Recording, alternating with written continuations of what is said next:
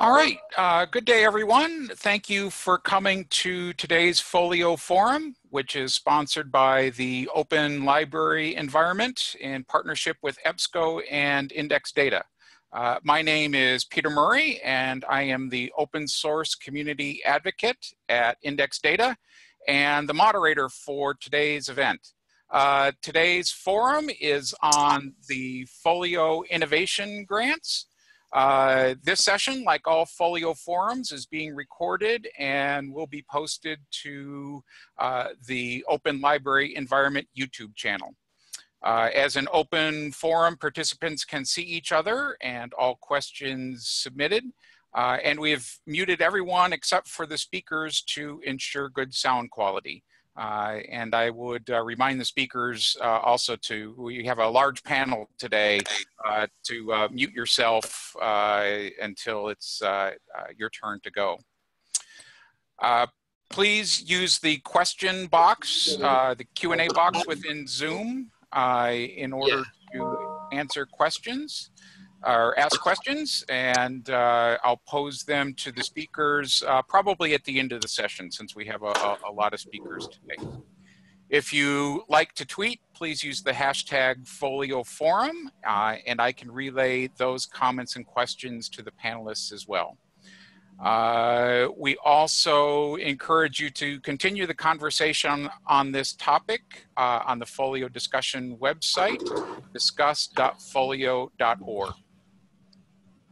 Uh, let's uh, start today's forum. I'm going to turn it over to Andrew Nagy. Thanks, Peter. Um, so let me uh, just have some slides that I'll share with you. Um, so yeah, I'm, I'm, excited to talk to everybody about our Folio Innovation Challenge that EBSCO sponsored. Uh, it started last year, 2017. Um, and uh, ultimately, what we wanted to do was to challenge libraries, um, to challenge libraries to think about how we could build some new innovations, some new technology to help um, spear some further growth and development on the Folio platform that was not necessarily directed for the, the core direction of, of the Folio platform, but to think about how we could create some further innovations with this amazing technology that we're all working on, on building together. Um, so what we were able to do was to pull together a grant uh, valued at $100,000 to help seed um, some, some innovation, some development on the Folio platform that would be able to expand or extend on what the, what the original vision of Folio was, to think about how we could use Folio in innovative ways um, we wanted to make sure that libraries who wanted to take on this challenge um, could receive some money to help build on these ideas, these uh, great ideas that were coming forward, but to also make everything that was being created as open source so that any library uh, who wants to work with Folio, who wants to use Folio, can take advantage of these really exciting innovations. Um, we had a lot of really great applications um, and we awarded six different institutions. One of those lucky institutions got awarded twice. Uh, so hopefully we'll hear, uh, hear about, about that. Um, but we awarded seven grants for six different institutions uh, to create some really exciting new applications for the Folio platform. Um, uh, as I mentioned, the goal with this grant was to advance the adoption of Folio, but to advance innovation uh, and to help solve some, some uh, problems that libraries have been facing and look at how we could use Folio as, as an innovative uh, approach. Um, so we did it kind of in rounds. Um, and we had our very first round, which was in uh, 2017. And uh, we awarded two winners with the first round.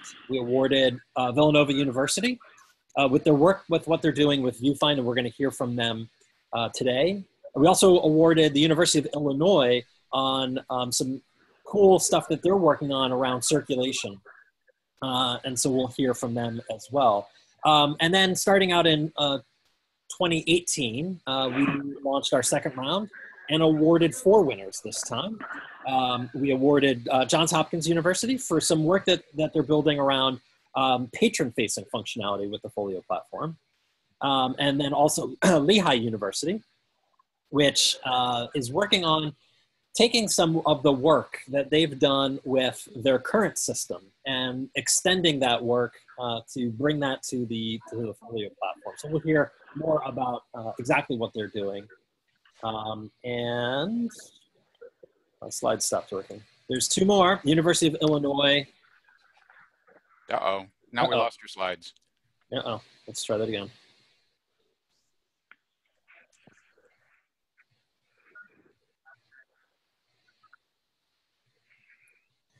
Um, instead of doing presentation, I'll just do it this way. Um, so we also have the University of Alabama and the University of Illinois again um, uh, also wrote in a, a, really exciting second proposal uh, that we wanted to have included in the project. So at, at this point, I think um, I wanted to really make sure that the uh, award winners had as much time as possible to talk about the great work that they're doing. So I want to stop talking and hand it over to, uh, to our next presenter. Um, so I'm not exactly sure who that was next. Do you have the list in front of you? Uh, University of Illinois, I think, was first on the list. Wonderful. Okay. Um, so I'll stop sharing. Um, we have uh, some, some slides we'll bring up here in a second. Um, uh, first off, we just really uh, since we were fortunate to receive um, you know two rounds of funding, I just want to express our thanks of, to EBSCO and um, you know we've we've just been really fortunate um, to work on on these projects. Um, Nate um, is our, our, key programmer here. Our, he's uh, the brains behind the operation, and uh, he's going to talk a little bit about um, uh, several of the apps. I'm going to give a background here. so as as already mentioned, we um, we had some custom software tools that we had built, and um, it's uh, both sort of a, an irony and a paradox in the sense that these tools were developed because our library service platform that we had was not really meeting the needs of uh, some of the um, emerging services. So these were like custom custom apps on top of our ILS, and so um, it was a, a, great opportunity to see if we could incorporate them into the Folio code base. And at the same time, um, I was super excited ever since I'd first heard about what would become Folio. And, and that I, I still remember I was in Philadelphia in 2016 and uh, Sebastian Hammer was talking about the modular deconstruction of the library platform. And I was super excited because it looked similar to how we were thinking about our mobile apps. Um, and, and while we have a different implementation, uh, I think we have um, what I would call a um, uh, comparable and almost interchangeable uh, module type system, which, which was really exciting to see. Um, so we had really two overarching goals when we started this, and um, we, we've kind of uncovered a third that we'll, we'll, talk about at the end. One was really uh, to allow our library system to learn more about just the how Folio fits together, and and we have an opportunity here to um, really dig in and explore it. And we were excited by what we found. The microservices approach to um, you know personalizing some of these end user services, and um, and we uh, in our first uh, two applications that we made, uh, some of the back end, um, I guess I I, I want to make sure I'm saying this right. Um, some of the back end tools were um, emerging and they've sort of stabilized now. Um, and so um, we haven't directly incorporated into Folio just yet, but I think with our this third grant, um, our ultimate aim is that this will be sort of direct to the code base, and um, that that's our goal. And if we can circle back and uh, pull these uh, first two apps back into the code base, so um, that's kind of enough uh, exposition. I'll move into the the, the applications. Um, so for our first one, we had an equipment loan form, which is uh, called our, our ELF form here. And what our equipment loan form does is it, um, we create a loan agreement form where students can sign for equipment that they check out. And many libraries check out technologies now. Um, our Media Commons is uh, circulating uh, hundreds, sometimes thousands of, of items a month. Um, and really what, what we tested in this is uh, how does the back end of Folio, how do how does services sort of the back end API of Folio, um, how could that plug into some of our front end? And what we were able to do um, through through Nate's investigation, what was pair our front end um, equipment loan form with um, uh, the back end APIs, and we were able to have a proof of concept about sort of this extensibility of services. And granted, I think of Folio as, as microservices based, but also um, with the equipment loan form, it was sort of um, meta services based in the sense that um, anything in the library that requires a form. Um, so if you're going to check out, say, a specific type of room, um, makerspace room, uh, VR design space, any types of those things, this could really be reused for that as well. Um, and yeah, that's the equipment loan form. Um, and moving on, we have uh, our course reserve waitlist service, which uh, were you going to talk about that? Sure. Yeah. So, uh, hi everyone. Uh, my name's Nathaniel Rickman, and as my boss Jim said, I, I do a little bit of the programming on the team.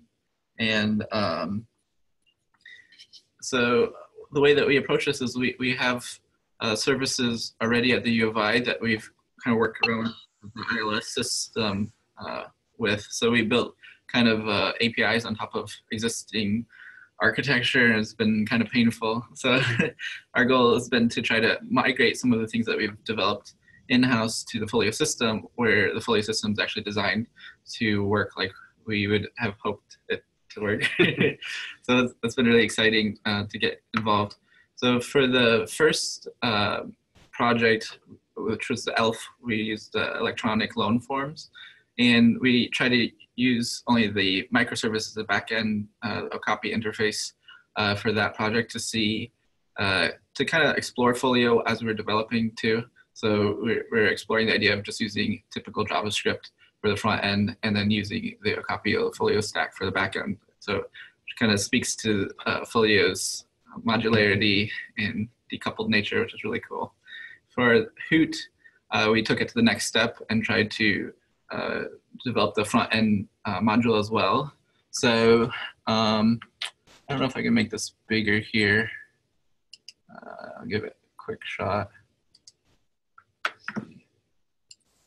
At the, at the end, we'll give you some links so you guys can check out the, the demo. Uh, but so our Hoot is a application that we built in-house that uh, is for waitlists. So for example, if someone's uh, checked out a book and then uh, a short loan book and then someone else comes and wants the same book, then they'd be put on a waitlist.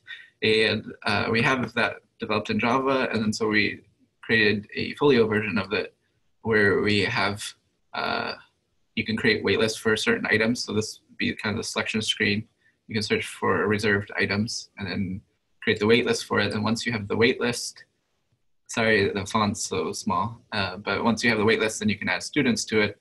And what's really cool about this is that it will automatically notify them through email uh, once the item is checked back into the front desk. So, so the way it would work is uh, someone would come say, "Oh, I'm looking for so-and-so book," and then the uh, they say, oh, sorry, it's checked out. Can put you on the wait list. They put them on the wait list. And after 15 minutes, um, I mean, then after the book is returned, then a notification gets sent to the user through email that their book has arrived. And they have 15 minutes to come to the front desk to get the book. And that's that's what this this uh, reserves waitlist service does. So that was that was really fun. That was our last uh, grant. And then for our current grant, uh, sorry.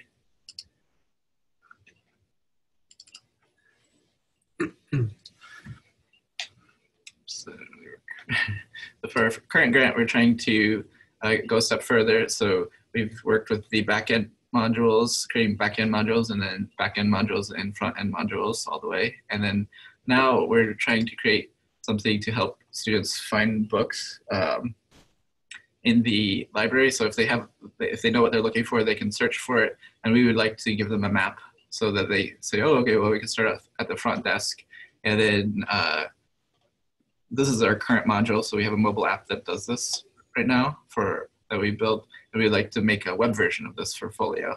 So they get a, a notification say, "Oh, I'm looking for the book called Cat," and here here's the dot of to show you where it is at the library on a indoor map. So we kind of want to do the same thing for uh, the Folio module, and we're kind of excited because this involves making a plugin or exploring plugins and seeing how they work, so that, to get the item lookup. Um, and then we envision this to be on uh, maybe like a kiosk, so you could you could put these uh, indoor maps, indoor locators on kiosks, and have students you know type in the, the book that they want and get uh, get directions, turn by turn directions to it. So we have been having lots of fun, and we're excited Yeah. to keep on working on it. Yeah, thanks, Nate. Um, yeah, and Wayfinder is really one of my favorite modules that we've worked on in our in our mobile app. So it's um, a great pleasure just to see it having a life beyond here and getting into Folio and out to other academic libraries and other libraries that want to use it. Um, I, you know, just some closing observations and sort of uh, closing observation and sort of a, a new goal.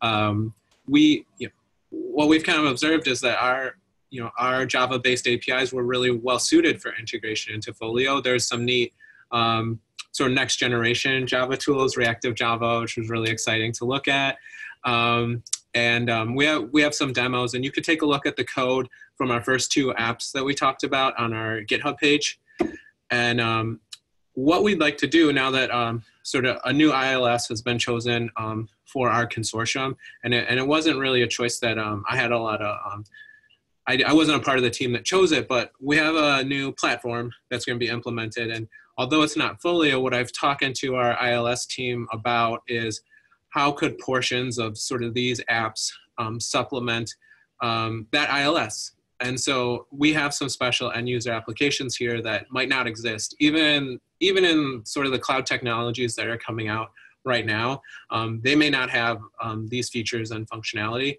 And so that's what we're going to look at is um, in what ways. Um, so it's it's not really a full monolithic like. Well, there's nothing really monolithic about Folio, but it's not. It's like not a full implementation of Folio. It's like what pieces could we use to supplement a platform that's here and that's sort of sort of the next step after we do this this wayfinder work and and i'm really excited for that part too um, and that's that's sort of um, that's what we had here and we'd be happy to i think we're answering questions at the end but we'd be happy to um, chat with people later and i'm not sure who's next on the agenda um, i think it was maybe is John Hopkins next? Yeah, I think so. Okay. Uh, thanks, Jim.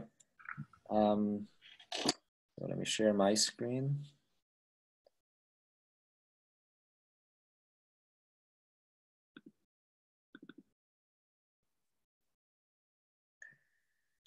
Oops. So can you can you all see my slide? Yes, yes, we can. Okay, great. Uh, so hi, uh, everyone. Uh, my name is Daji Jiao. I'm a software engineer um, from Johns Hopkins Library uh, Application Group. Uh, I'm here with uh, Alistair Morrison. Uh, he's the manager uh, from uh, for, for the for, for, for my group.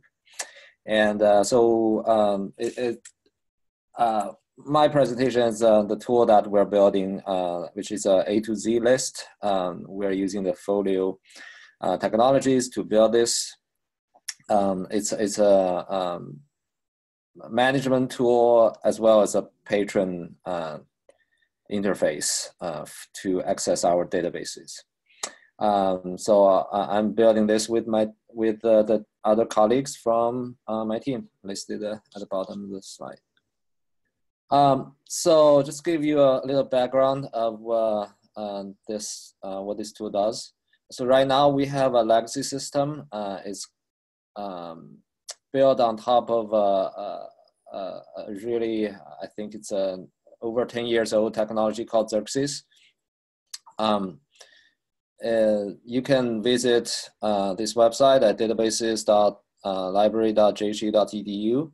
Uh, basically, you have a, a, a to Z list of all the databases that uh, uh, Johns Hopkins have subscription to. And these are hand-picked and curated by subject librarians, and they are organized by subjects. Um, one of the issue here you can see um, because different we have um, several libraries uh, are using this site. And uh, so uh, you, if you look at the from the subject list, there's African studies from the SAIS library. Uh, and Africana from the uh, Homewood campus, uh, which is the main campus at Johns Hopkins. So, they, but they're really related. So that's one problem we're trying to solve. In different libraries, use different taxonomies. the other problem we are trying to solve here is just uh, this system is not going to be maintainable in the future. Um, and I think the last version, you know, it was released like six or seven years ago, and there hasn't been any update to the system. Um, uh, so, uh, so we uh, applied for the grant, and uh, I really appreciate uh, EBSCO support this uh, this work that we're doing. Um, and uh, we would like also to um, you know build a uh, microservice-based architecture for our um, systems moving forward. Uh, and uh, we, we, we looked at different technologies and uh, we saw you know Okapi and Folio, the Folio frameworks, and we, we think this is a really good architecture for us to um, just in general to build our tools upon. Um, okay, so this is the overall architecture of uh, you know we call it Oreo. Um, I know the last three letters stands for Open Library Environment. I think the first one three was Open Resource integration. I, I, I can't remember the acronyms. I'm really bad at acronyms. But uh, we're from Baltimore, so we thought Oreo is going to be a really fun name. Um, so the overall architecture uh, is basically on the right side of this, this side of the diagram here. Uh, bottom, we have built the API uh, using uh, uh, using Java and RAML and uh, you know PostgreSQL uh, following the examples of other modules. Um, through the Okapi gateway, uh, there will be a uh, uh, Oreo staff UI. So there will be two interfaces. One is um, uh, a management tool uh, for our uh, library staffs. Uh, and then there's a patron UI. Uh, so the staff UI is going to be built, uh, well, it is uh, built uh, using Stripes. And uh, the patron UI, we, we just started wireframing and um, um, it, it's going to be a React based web application. so we, we also wrote some Python scripts to port data from our legacy system database uh, which is a My, MySQL. Uh, so we, uh, the Python script basically uses the Okapi gateway to post data to, to the Oreo API, the Oreo database. Uh, we could actually, well, I, am a software engineer, so my talk will be uh, pretty technical. I don't want to, you know, be too boring, but you know, this is what I enjoy talking about. So um, so, but the Python script uh, doesn't directly talk to the uh, to the database because we think you know uh, this is a good opportunity to check whether the gateway is working or not. Okay. Uh, so uh, the mod Oreo the API uh, we have as I said it's it's based on RAML and we we wrote our schema.json file and it can do CRUD operations. Uh, and uh, we also have permissions in the module descriptors. Um, that is really useful because uh, even in the staff user interface, uh, we would like to uh, restrict some access levels to certain certain staff members. So there could be different levels of administration access from the user interface. Uh, so uh, our implement uh, we've done uh, most uh, uh some implementations, and uh, uh, we are using a really test-driven process. So we wrote a lot of tests for the module implementations, and one of my colleagues, uh, Farouk Siddiq, he Dockerized the module so that we can easily deploy it to the Vagrant-based VM. Uh, so our code is on uh, GitHub, and uh, we use the Travis CI to do uh, continuous integration. So anytime we submit a code, it'll be um, built and, uh, and tested. Uh, we are having issues with building with the OpenJDK. all the tests with Oracle JDK, um, there's no problem, but since there's an issue with OpenJDK, we haven't figured out yet. Uh, so as I mentioned, uh, we Dockerized it, and uh, we are using the test testing backend, uh, Vagrant Box from Folio. So here is the uh, a screenshot of the uh, staff UI. so this is basically a, a, search interface. You can search anything, and then these are the list of databases and uh, we have some details. Um, we are still revising the data model. We're putting more data into it, but right now um, uh, this, this proof of concept interface is working. Uh, it uses the search and sort component in Stripes. And this is the edit uh, user interface. Um, um, yeah, pretty typical. I mean, Redux forms, and you can uh, you can remove the uh, record to. Uh, I actually spent pretty, you know, some time on this button than and other things is that there's no good example actually in other folio UIs at the moment, I think. Um, okay.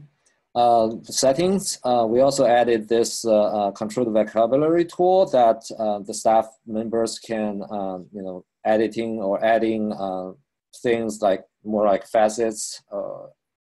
like here is an example of locations, and but they can also add uh, we are we're also trying to add functionality like um, adding types and even let them uh, manage subject headings. That'll be uh, a little challenging. Uh, as I said, um, uh, the patient UI, we're still uh, wireframe everything. so this would be how, how it looks like. one thing is you can uh, we, we, added a requirement to um, be able to browse subject based on uh, a library. So um, basically, the medicine the medical library might have different taxonomy than um, uh, the music library apparently, and they can actually see the subject headings differently. Uh, so that will solve the problem uh, I mentioned earlier when you try to have different terms to describe the same thing. Um, yeah, the database list is pretty standard. Um, uh, lessons learned. Um, so I, I think, you know, as, as a developer, we need to update the modules libraries regularly because things are moving really fast for Folio. Um, and uh, and I, I found some tools from Folio really helpful. The RAML Builder, the Okapi client are uh, a couple of examples. And uh, uh, there are two uh, virtual machines, the testing backend and the stable backend. Um, I found the testing backend is more useful than the stable one. Um, and Slack is awesome. I mean, if you have any questions, asking on Slack and helps are always available. Um, DevOps is challenging. We're still working on it. Uh, so our next steps is, uh, as I mentioned, uh, we, are going to implement this taxonomy. Uh, and uh, we want to fine tune the permissions. Uh, and our data models is not complete. We need to implement the patron UI, and we still need to, um, you know, figure out details of DevOps. and we would also, this will be the, in the, next phase. Um, we, we want to integrate with our ERM workflows. Um, all right. I think uh, I'm answering questions at the end, so thanks a lot. Um, I'm not sure which who are the next. Yep, questions at the end, please. Uh, and uh, while they're, but we'll we'll pose them to the uh, presenters at the end. Uh, but uh, as you have them, put the the questions into the Q and A box, uh, and we will get them queued up for the presenters at the end. I think next up is uh, Lehigh. Uh, Michelle? Hi, I'm just gonna share my screen. Yes, please.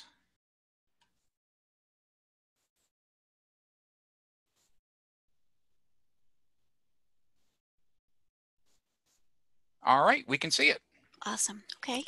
Hi, um, Lehigh was awarded a grant to create a lost item folio application or folio module. Um, we currently have a working edition of this application that we built um, to work with our current ILS, which is OLE, so that's working in production right now. Um, our existing application has been really well received by our staff, so we thought it would be um, great if we could carry this functionality through into Folio um, for when we migrate and then also hoping that other libraries um, find it as useful as, as we have. Um, as far as, um, you know, at this stage, we've really just, um, we haven't started coding anything. We've done some gap analysis to determine um, if the functionality that, that we need exists in Folio. Um, I'm going to demo our existing application so people can get a better idea of what it does or what it will do in Folio. But um, for example, in Folio, we'll need uh, custom item statuses. We'll need to mark, we'll be able to, we need to be able to mark something lost or um, purchase requested, etc. And um, I think the possibility of this application using the, the workflow module that's being worked on right now um, has some real possibility. I don't know if that if the workflow module will be done in time, and if it's not, um, we plan just to develop it the way we've developed it um, to tie into OLE, and that's just kind of with email prompts um, if the if the workflow module is available for us to hook into. But I think down the road, this really is a workflow in a sense. So um, you know maybe a, a, version two of this can tie into the workflow uh, module.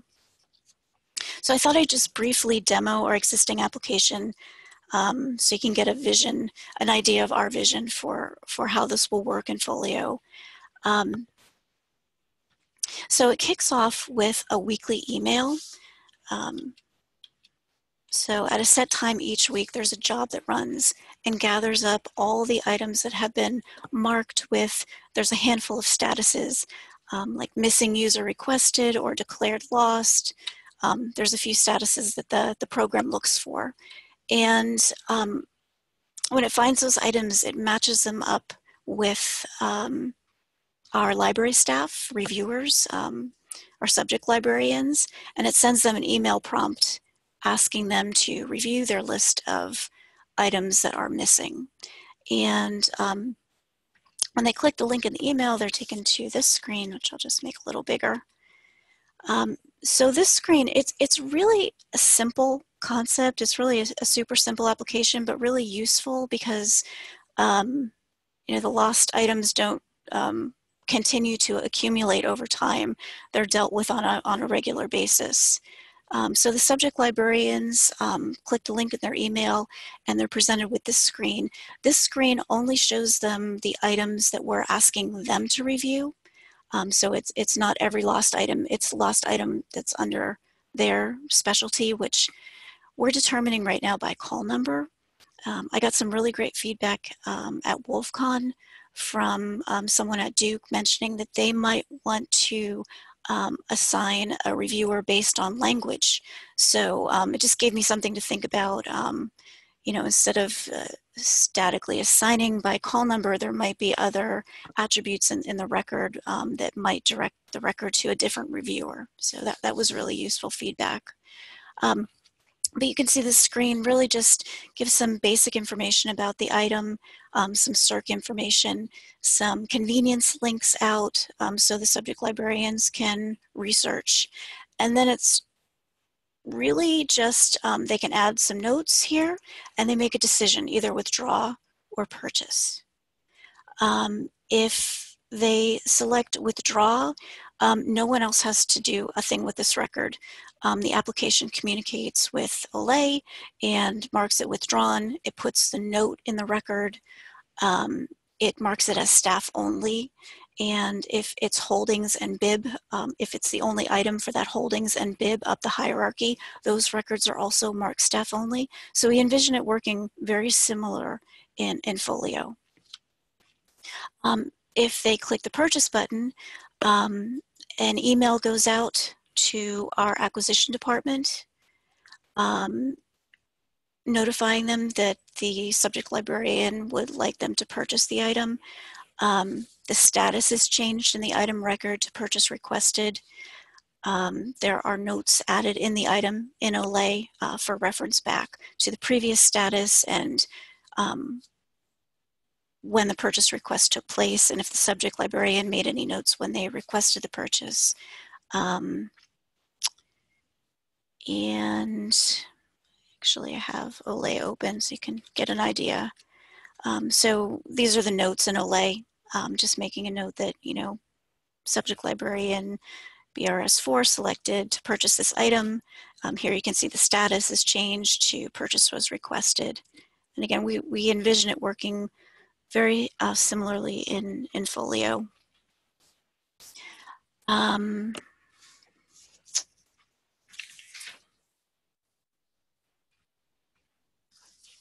I think that's all I wanted to mention, but I'm happy to take questions at the end also. Great, thank you. Oh, what happened to my list of presenters? Sorry, Peter, I was relying on you for the list. Oh, okay, uh, I found it. Uh, next up is uh, Villanova University. Hello. Hello, can everyone hear me? Yes, and we can see your desktop too. Great. So I'm here to give an update on the VuFind uh, Folio ILS driver that we were uh, given a grant to do. So to get started, I guess talk a little bit about who we are. So I'm Chris Hallberg, uh, and with Demian Katz, we are the two core developers of VuFind. And I say core developers because we are very lucky to have a, uh, a very active contributing community. Um, and with their help, we currently support nearly 20 ILSs, which is going to soon include Folio. Uh, VuFind is an open source discovery layer that was started here and is used by hundreds of libraries all over the world. Um, and I will have a link to the GitHub at the end.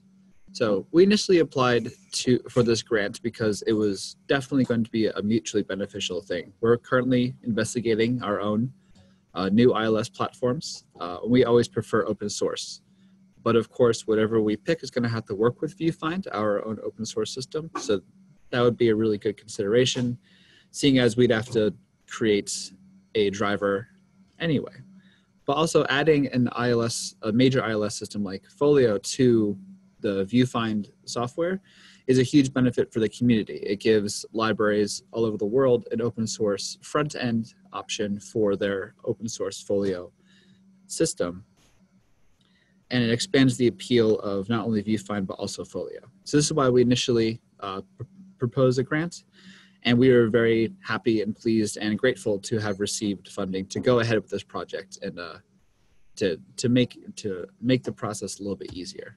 So uh, we broke what we wanted to do up into three phases, which was uh, set up a folio server, get things going, make sure we have the test records, uh, do all the read-only functionality, all the GET requests with the API, and then move on to the post and finish up and make sure everything was ready uh, to move forward. Uh, I'm going to describe um, some of the particular challenges that we have and that we eventually triumphantly overcame, of course. Um, it's going to show the progress. So it's going to start off a little critical, but this story ends well and will continue to get better and better. This really shows the responsiveness and the overall progress of the Folio system uh, since we received our grant to do this. So uh, phase one is complete uh, at this stage, uh, but along the way we had a few a few problems. I need to hide the video so I can see my whole slide. Uh, first off, the Vagrant instance was extremely easy to set up, but the hardware that we had available, even the most powerful spare computer that we had, uh, couldn't handle running VirtualBox. We couldn't seem to configure it cor- correctly, uh, and it would crash. And even if we, you know, if it went a week without crashing, every time we reloaded it, all our custom loaded records were gone. Uh, and all of the record IDs of the existing ones changed, which made testing very difficult. So we moved on to working through the single server installation on the uh, on the GitHub, and after a few tries, it was successful. There was a few instances where the software was ahead of the documentation. So I wanted to thank everyone on the Slack for being very responsive and helping us uh, get our server set up, which has been running with very little issue for quite a, a, while now and is allowing us to really make a lot of progress um, since we got that all sorted out. As far as ingesting test records go, I had to do it manually for a while. I had to make my own uh, my, my, own JSON record to import through the API from our MARC records. And uh, but luckily, the new mod data loader project has come along. Uh, we had to update to the newest version of Folio, which is fine. Um, but now that that's working, we were able to import our usual test records, which means that we can expand our usual test suite uh, that VuFind uses to test the other ILS drivers, which is very, very exciting. Uh, there's no um, there's no MARC exporting yet, and uh, I put this on the mod data loader slide, not because it's something that should be part of this mod data loader project, which we intend to contribute, but because mod data loader might be a good place to start to look into how this could be done. Um, VuFind's normal operation involves ingesting records that are exported from the ILS. So once this functionality is uh, is created and finalized, uh, we can absolutely work that in there. It's going to be a crucial part. So maybe the mod data loader is a good place to start. But finally, the implementation of the real-time availability status, you know, the real minimum viable product uh, is working very well. And now that we're testing, we can remove some of these edge cases. So this is from our uh, working test instance with the Folio code. And on the top, you can see that the book is available. On the bottom, you can see that there was an error. Um, that's not a huge concern though. I left it in here intentionally because the ID for that particular record is intense. These are uh, this is our uh, test record that has very crazy IDs. So the ID for the one on the top includes a backslash and a forward slash and a dollar sign. And the ID, the actual ID itself for the movie one inc- includes every kind of quote you can throw at it. It's, it's very, it's a, it's a real edge case. But uh, this is not a situation we expect to have a problem with long term. It is really great to know that Folio supports older IP, uh, older IDs as identifiers. That was very easy. We thought that was going to be a, a, bigger hassle than it was. It basically worked immediately without any custom code. Um, and it's good to know that once we start ingesting records directly into Folio, this won't be a problem because of the UUID uh, IDs that Folio uses, regardless of the identifier. So. Onto phase two, you can see from all the green check marks down the side that everything here went very smoothly and very quickly. We were able to read all the information once we had records in there. Uh, and we can you can currently sign in, check out your profile information, look at all the items that you have checked out. You can look at any finds that you might have, uh, and the current holds. And the only reason I'm showing the current holds right now is a small uh, difference between the way that VuFind does things and the way that Stripes does things. So if you end up testing the code, or maybe this might be a configurable option for Stripes in the future, is that we're showing all the holds, uh, all three holds that were placed, and only one is showing up in Stripes, and that's because um, Stripes is only looking for holds placed on records that checks out, where VuFind uh, that are already checked out rather, and um, VuFind doesn't make that distinction and allows people to place holds on books that aren't necessarily checked out. So while you can check things out, there's a few discrepancy here. Maybe we'll contribute some kind of configuration to Stripes in the future. So on to phase three, where we currently are. This is my uh, primary task right now. I have no other larger projects. So right now, placing holds is working. This is the screen that you'd be presented with and is currently supporting all four of these fields, the actual book itself and the comments and when you don't need it any longer or where you want to pick it up. Uh, and the next steps, the next major steps are canceling holds and renewing items, which will definitely be completed, I'd say, in the next week or two, which would very excitingly complete our initial obligation of uh, the grant. But there's still plenty more to do. Um, as I continue to work on this, you can see that that line of very small commands down the right side there are, are all the functions that VuFind can possibly support for an ILS driver. And uh, we're working our way through that list and seeing which ones can be added and not. I imagine that eventually every single one of these will be an available piece of functionality for the, the VuFind Folio ILS driver uh, because of how modular it is and how robust the API already is at this point. So it's just a matter of working our way through the lists and, uh, of course, creating automated tests to make sure those things are always working by going to Folio and getting some of the JSON outputs and saving them and creating tests out of them. Um, we also plan to contribute to the mod data loader because it's very uh, useful to us uh, and also to determine the record output workflows about making sure that all the records that are in Folio can be exported in very useful formats so that not only VuFind can ingest them and make its search very, very useful, but also so that we can, um, other libraries can do the same. The, the, the mod data loader is a good tool for this, um, but it might not be the best fit for the actual exporting. At minimum, you know, we should be able to just dump out the MARC and it would be a real bonus to get a, a real-time approach where Folio sends out notifications uh, but for now, neither of those tools seem to exist, but we definitely look forward to um, not only utilizing those tools, but possibly contributing to their uh, construction if possible. Um, and that's all that I have for now. I look forward to taking questions at the end, of course. If you have any more direct questions about VuFind, you can email myself or Demian uh, directly at these two email addresses, and I'm going to post the link down here uh, into the chat the, the GitHub page is the VuFind project, and that particular pull request is the up-to-date code uh, and the overall approach to what's going on. Uh, and if you have any discussion, that would be the best place to put it, in particular for the, the Folio ILS driver. Um, and that is it. Thank you very much. And I believe the University of Alabama is on deck uh, for the next slide. So I'll stop sharing and I look forward to answering questions at the end.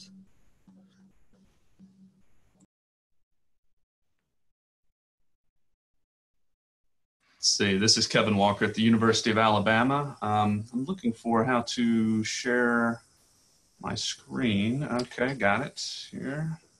All right. Yep, it's coming up. Yes, we can see it. All right, great.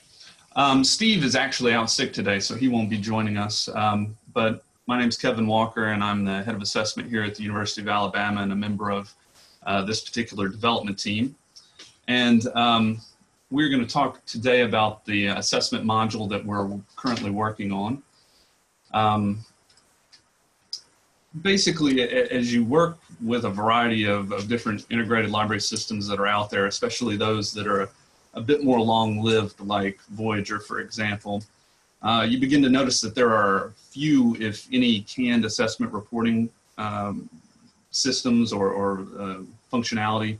And you know, why is this? Well, basically because uh, as those who regularly engage in library assessment through the ILS um, can tell you, you know, it's difficult to provide a one-size-fits-all uh, reporting functionality for libraries. Uh, the main reason is that, you know, catalogs and cataloging practices and uh, data structures and basic library policies differ not only across libraries but within libraries over time. Um, and this is of course going to affect the data that's in the ILS and therefore the manner in which uh, one would design any particular assessment query. Uh, nevertheless, this module is an attempt uh, to build an assessment reporting solution that provides some basic canned reports that are, are quick and easy to use. Um, importantly, we do this by establishing access to uh, widely used and what we might consider foundational ILS data elements. Um, something we, we can define this as as those metrics, you know, gathered on a regular basis across numerous national library statistical surveys like the ARL, ACRL, and IPEDS surveys. Um, and then we um, provide simple functionality that allows for a certain level of customization um, that makes the tool useful across a, a variety of organizational contexts.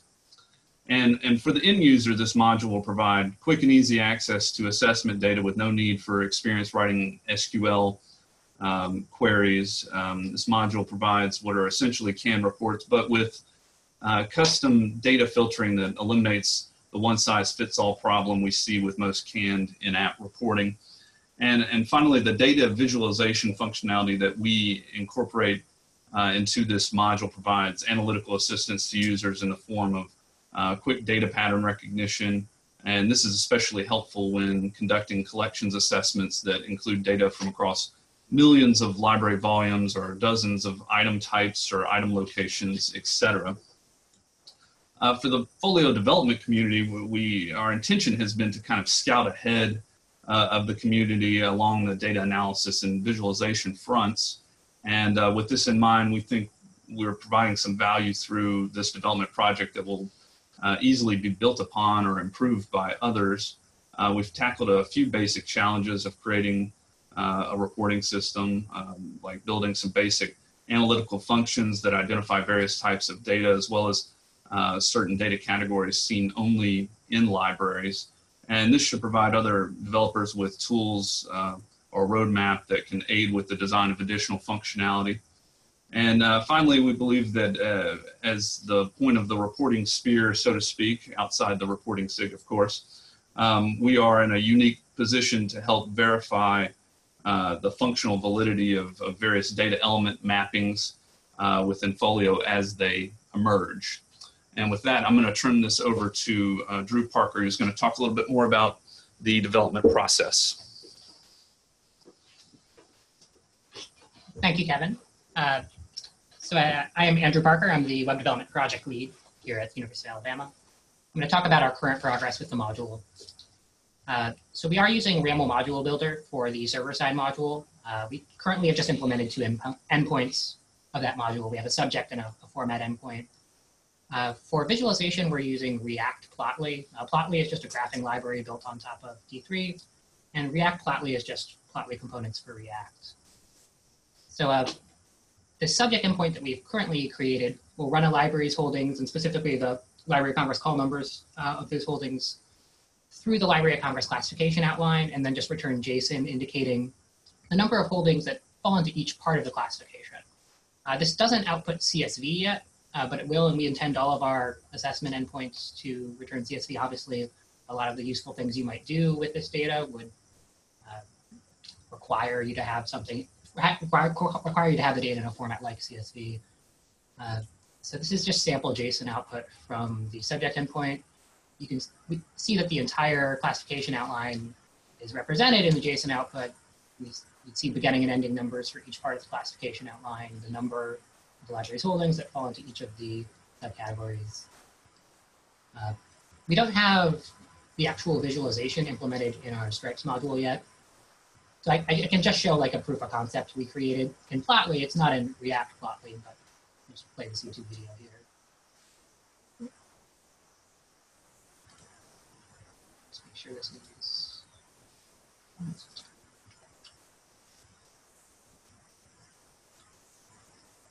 So this is the, these are the top level classes of the classification outline. You can narrow to language and literature. You see the subclasses beneath that. I believe I clicked on English you can see the categories beneath that. And you can navigate back up to visualization. This is a pretty crude prototype, uh, but this is what we intend to implement in React Plotly and won't take much more time for us to actually have that in our module.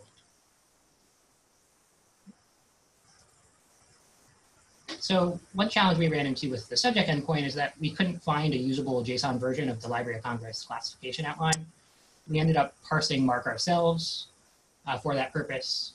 Uh, that is a MARC representation of the classification outline. Uh, we also have a format endpoint. It doesn't, it's basically just a placeholder at this point, but one of the requirements of our grant projects is to return a library's holdings by format and similar sort of visualization as we saw with subjects. That's currently not working with folio data yet. Uh, so as Kevin alluded to, we have like a more free-form visualization component to our project that we're working on. And uh, Jahan Jiang, our data services librarian, created a prototype for that. And then I'll share kind of like our, our progress thus far on implementing that. So I'm going to let Jahan take over here, and then I'll uh, jump back in. This is Jahan Jiang, um, Data Services Librarian here at the University of Alabama. As Drew just mentioned, we use um, JavaScript called uh, Plotly to do uh, visualization plots.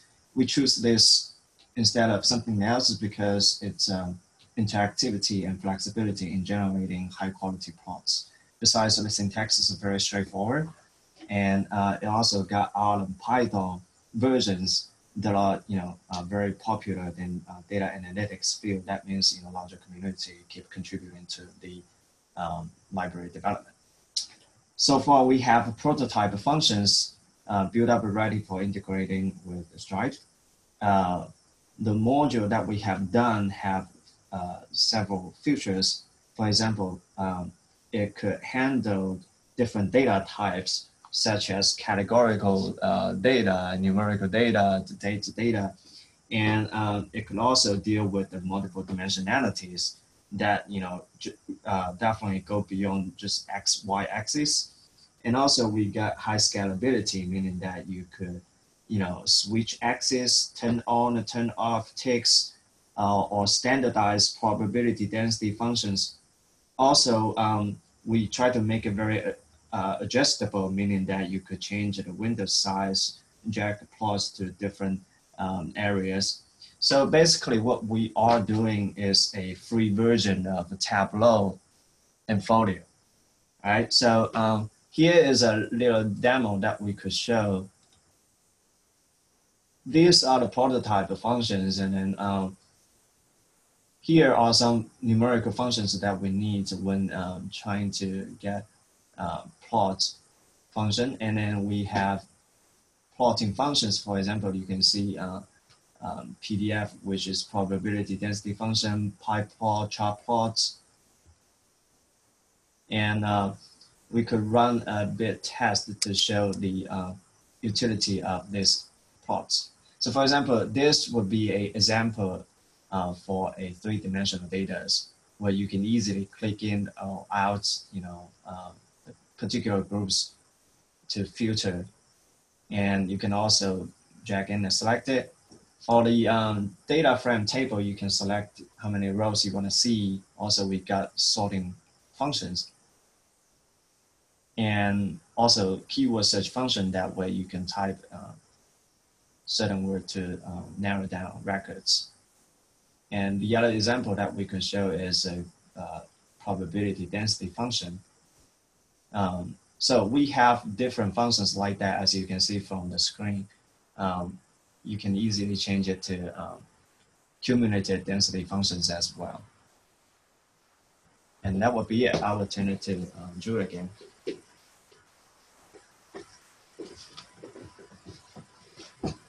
Thank you, Shahan.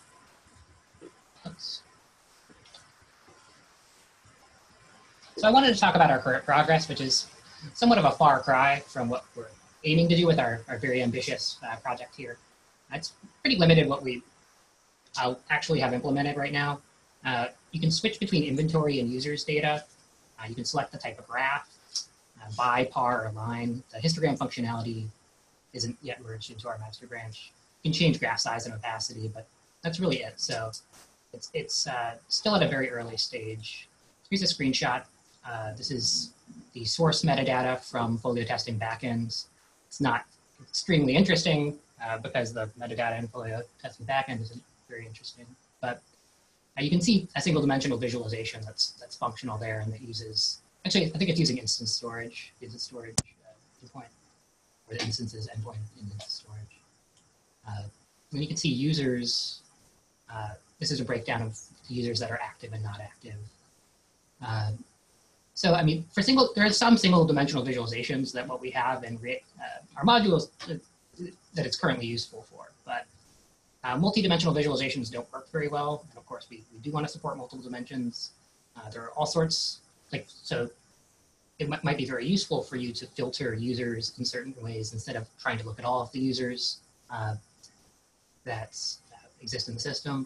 Uh, you would quite possibly also, uh, we would expect to implement like a, a, record functionality like you saw in Jahan's prototype at the bottom as well, where you would see, be able to browse the records that you were currently looking at in some capacity. But uh, so I thought I'd just very quickly touch on next steps with the time that we have left. Uh, we would like to start working with kind of our actual data for patrons for our, our bibliographic data instead of which just a what's in Folio testing backend. Uh, we are a beta site, so what's done there to, to migrate our data into Folio that can be used for the purposes of uh, our module development. Uh, we have uh, students that are contributing to this uh, module development, and we want to continue to get them comfortable with the technology because they didn't have prior experience with any of it. Uh, and we're going to continue to monitor what the reporting SIG is doing and ensure that what we're doing to the best of our ability is going to complement what they're going to do. Um, what they're going to do is uh, still developing, I guess, is uh, a way to say it. So uh, those are those are sort of our immediate next steps. And that's it. Great. Uh, thank you very much. Uh, you can tell Stephen you guys did a good job, uh, uh, even though he was sick today. And uh, of course, he'll be able to catch up on it on the recording as well. so in a moment, I'm going to ask the two presenters who answered questions in the, the text Q&A box uh, to kind of uh, give us those same answers uh, verbally so that we can get them on the recording. Uh, but before I do that, I do want to encourage uh, people to continue to ask uh, questions in that Q&A box. and we will go as long as we have questions to be answered and, and presenters to answer them. so let's go back to, to Lehigh for a moment. Uh, there was a, a question asked, uh, why wouldn't you want to create a new item uh, if you want to purchase a replacement rather than updating the item record uh, of the lost item? Right. Uh, go for it, Michelle. Okay, thanks. Yeah, I think that that's a really good point. Um, we didn't take that route because in OLE, um, when a purchase order is created, um, there's the option to have a new item created. It also gave our acquisition department a little bit more control over um, managing that data. But you know, when I when I read the question and started thinking about it, I, I think that's something that we should reevaluate as we move into Folio. Um, you know, I really like to maximize and automate everything that we can possibly automate, um, taking advantage of Folio APIs. So I could definitely see that um, as an option as we move forward. Great, thank you. Thanks. Yep. Uh, and for uh, the um, uh, Villanova, uh, Christopher and Demian, uh, where would discovery metadata, uh, bib data, and holdings slash items data be coming from? for example, the inventory or MARC storage or both? Yeah, so for the for the most part, we ingest all the metadata into a faster search area. For here, uh, and for most instances, it's called it's Solr is what we use.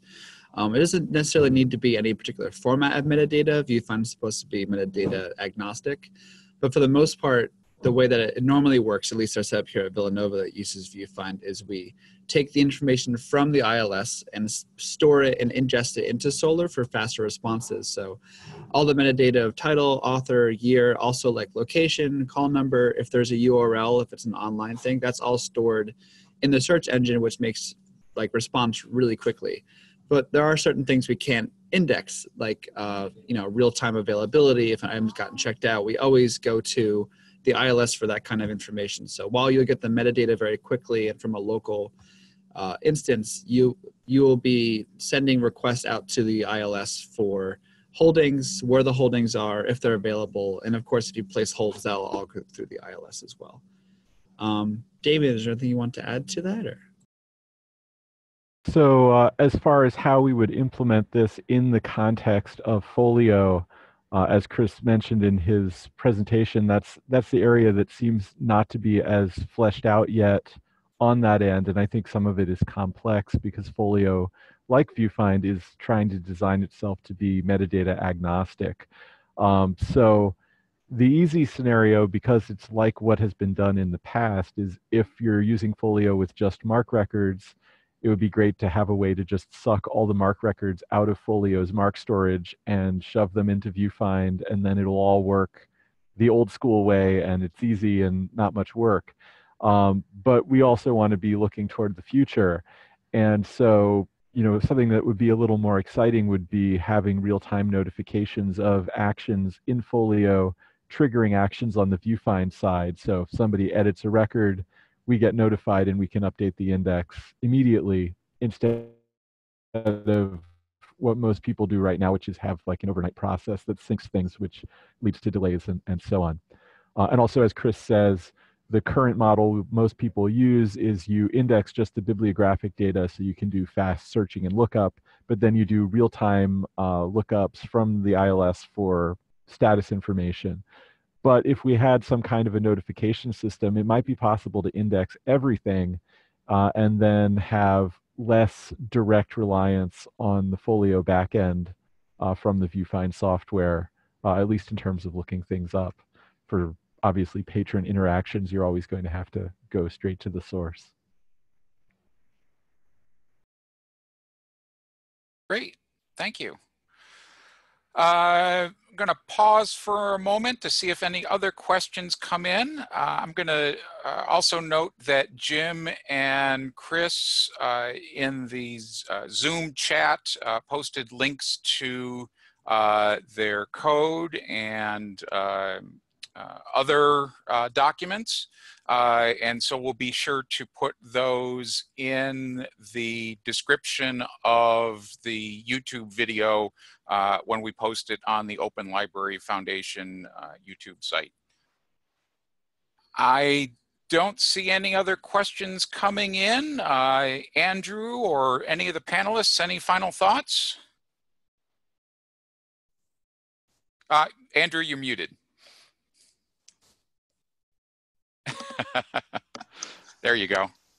Thanks, Peter. Uh, I just wanted to thank uh, the panelists for their time today and all the great work that they're doing. This is really exciting to see. Um, so uh, I just want to thank them all and, and really look forward to seeing this, this all this uh, work that they're doing coming to fruition.